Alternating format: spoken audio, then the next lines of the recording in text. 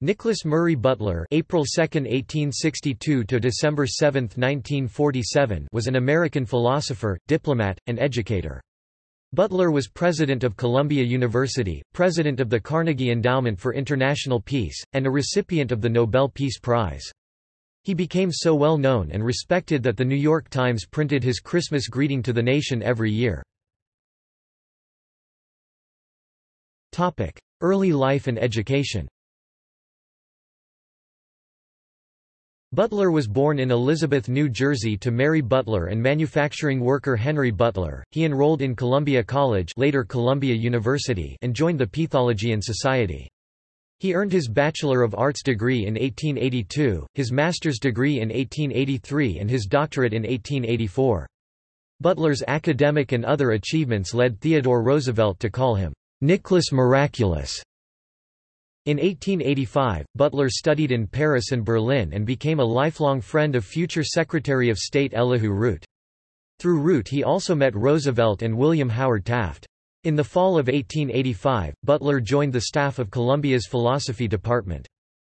In 1887, he co-founded with Grace Hoadley Dodge, and became president of, the New York School for the Training of Teachers, which later affiliated with Columbia University and was renamed Teachers College, Columbia University, and from which a coeducational experimental and developmental unit became Horace Mann School. From 1890 to 1891, Butler was a lecturer at Johns Hopkins University in Baltimore.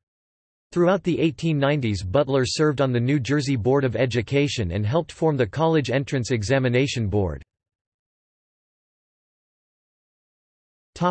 Presidency of Columbia University In 1901, Butler became acting president of Columbia University, and in 1902 formally became president. Among the many dignitaries in attendance at his investiture was President Roosevelt. Butler was president of Columbia for 43 years, the longest tenure in the university's history, retiring in 1945. As president, Butler carried out a major expansion of the campus, adding many new buildings, schools, and departments. These additions included Columbia Presbyterian Medical Center, the first academic medical center in the world. In 1937 he was admitted as an honorary member of the New York Society of the Cincinnati. In 1941, the Pulitzer Prize fiction jury selected Ernest Hemingway's For Whom the Bell Tolls. The Pulitzer Board initially agreed with that judgment, but Butler, ex officio head of the Pulitzer Board, found the novel offensive and persuaded the board to reverse its determination, so that no novel received the prize that year. During his lifetime, Columbia named its philosophy library for him. After he died, its main academic library, previously known as South Hall, was rechristened Butler Library. A faculty apartment building on 119th Street and Morningside Drive was also renamed in Butler's honor, as was a major prize in philosophy. An in-depth look at Butler's time at Columbia University also can be found in The Goose Step, a study of American education, by Upton Sinclair. Political activity Butler was a delegate to each Republican National Convention from 1888 to 1936. In 1912, when Vice President James S. Sherman died a few days before the presidential election, Butler was designated to receive the electoral votes that Sherman would have received. The Republican ticket won only eight electoral votes from Utah and Vermont, finishing third behind the Democrats and the Progressives. In 1916, Butler tried to secure the Republican presidential nomination for Elihu Root. Butler sought the nomination for himself in 1920 and 1928, without success. Butler believed that prohibition was a mistake, with negative effects on the country. He became active in the successful effort for repeal in 1933.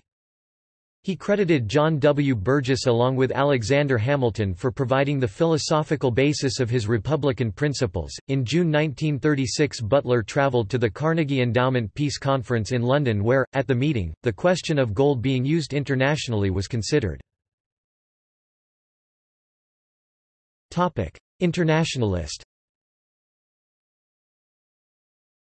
Butler was the chair of the Lake Mohonk Conference on International Arbitration that met periodically from 1907 to 1912.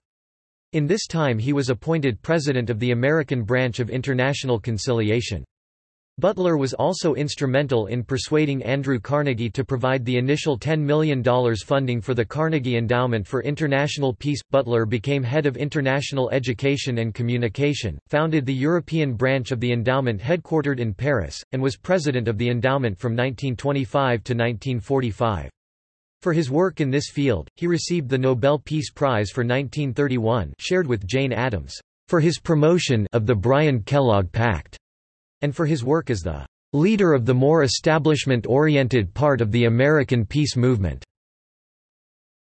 In December 1916 Butler, Roosevelt and other philanthropists including Scottish-born industrialist John C. Moffat, William Astor Chanler, Joseph Choate, Clarence Mackay, George von Lengerke Meyer, and John Grier Hibben purchased the Château de Chavagnac, birthplace of the Marquis de Lafayette in Auvergne, to serve as a headquarters for the French heroes Lafayette Memorial Fund, which was managed by Chanler's ex-wife Beatrice Ashley Chanler. Butler was president of the Pilgrim Society, which promotes Anglo-American friendship. He served as president of the Pilgrims from 1928 to 1946. Butler was president of the American Academy of Arts and Letters from 1928 to 1941. Topic: Personal life Butler married Susanna Edwards Schuyler (1863–1903) in 1887 and had one daughter from that marriage. Susanna was the daughter of Jacob Rutsen Schuyler (1816–1887) and Susanna Hay Edwards, born 1830. His wife died in 1903 and he married again in 1907 to Kate LaMontagne, granddaughter of New York property developer Thomas E. Davis. In 1940, Butler completed his autobiography with the publication of the second volume of Across the Busy Years. When Butler became almost blind in 1945 at the age of 83, he resigned from the posts he held and died two years later. Butler is buried at Cedar Lawn Cemetery, in Paterson, New Jersey. Despite Butler's accomplishments, many people regarded him as arrogant. He autocratically dismissed faculty members who displeased him, such as the great classical scholar Harry Thurston Peck, and others who dared to question his dismissals, such as the civil rights pioneer Joel Elias Spingarn. He had little respect for Columbia's fine arts faculty, and stripped them of academic affairs voting rights in 1903, accelerating his deteriorating relationship with music professor Edward MacDowell. He went so far as to accuse MacDowell of unprofessional conduct and sloppy teaching, prompting MacDowell's abrupt resignation from Columbia in February 1904. In 1939, a former student of Butler's, Rolfe Humphreys, published in the pages of Poetry and Effort titled, draft ode for a Phi Beta Kappa occasion, that followed a classical format of unrhymed blank verse in iambic pentameter with one classical reference per line. The first letters of each line of the resulting acrostic spelled out the message, Nicholas Murray Butler is a horse's sick ass. Upon discovering the hidden message, the irate editors ran a formal apology. Randolph Silliman Bourne lampooned him as Alexander Macintosh Butcher in One of Our Conquerors, a 1915 essay he published in The New Republic.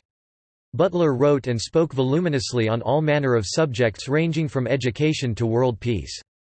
Although marked by erudition and great learning, his work tended toward the portentous and overblown. In The American Mercury, the critic Dorothy Dunbar Bromley referred to Butler's pronouncements as those interminable miasmas of guff. One notable critic of Butler was beat poet Allen Ginsberg.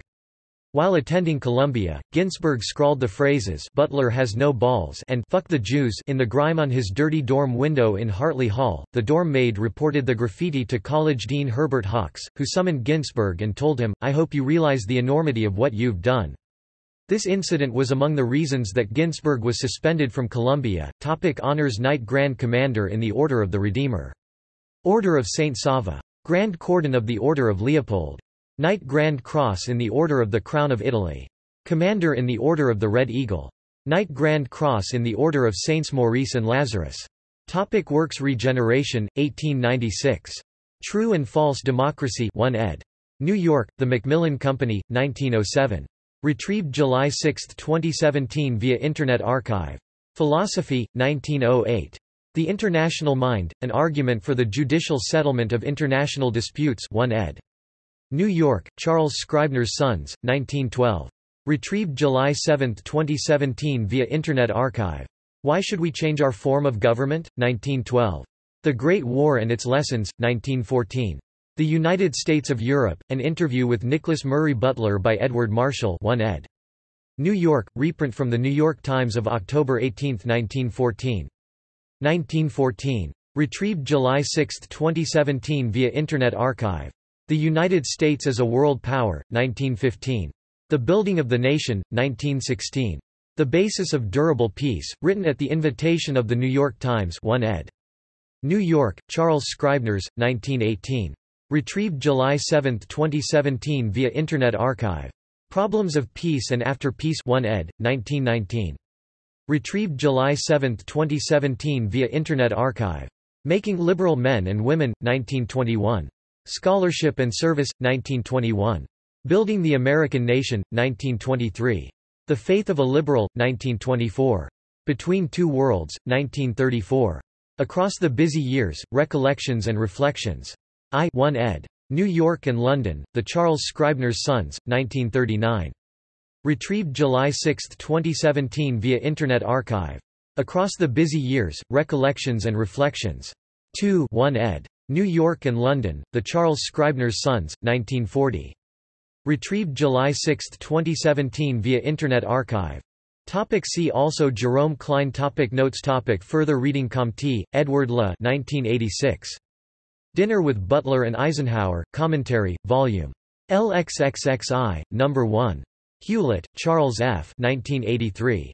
Nicholas Murray Butler and the American Peace Movement, Teachers College Record, Volume 85, No. 2. Hewlett, Charles F. 1987. John Dewey and Nicholas Murray Butler, Contrasting Conceptions of Peace Education in the Twenties, Educational Theory, Volume 37, No. 4. Marin, Albert 1976. Nicholas Murray Butler, Boston, Twayne Publishers. Rosenthal, Michael 2006. Nicholas Miraculous, The Amazing Career of the Redoubtable Dr. Nicholas Murray Butler, Farrar, Straus and Giroux, ISBN 0-374-29994-3 Sokal, Michael M. 2009. James McKeen Cattell, Nicholas Murray Butler, An Academic Freedom at Columbia University, 1902–1923, History of Psychology, Vol. 12, No. 2. Thomas, Milton Halsey 1932. Bibliography of Nicholas Murray Butler, 1872–1932, A Check List, New York, Columbia University Press. Williams, Andrew 2012. Waiting for Monsieur Bergson, Nicholas Murray Butler, James T. Shotwell, and the French Sage, Diplomacy and Statecraft, Volume 23, No. 2. Akind, Nadine, Tison, Stéphane 2018, N. Guerre pour la paix. Correspondence Paul d'Estournelles de Constant et Nicholas Murray Butler 1914–1919, Paris, Alma. Topic external links Nobel Prize Biography Works by Nicholas Murray Butler at Project Gutenberg Works by or about Nicholas Murray Butler at Internet Archive Works by Nicholas Murray Butler, at unz.org Works by Nicholas Murray Butler, at Hathi Trust Nicholas Murray Butler on IMDb CEIP Archive at Columbia University Picture of Nicholas Murray Butler, C.A. 1930 Portrait of Nicholas Murray Butler, by Augustus Vincent Tack John D. Rockefeller, Letter to Nicholas Murray Butler address by Dr. Nicholas Murray Butler to the members of the Union League of Philadelphia, 1915, Digital Library at Villanova University documented in the United States of America Congressional Record, Proceedings and Discussions of the 76th Congress, Third Session, Remarks of Hun. J. Thorkelson of Montana, in the House of Representatives, August.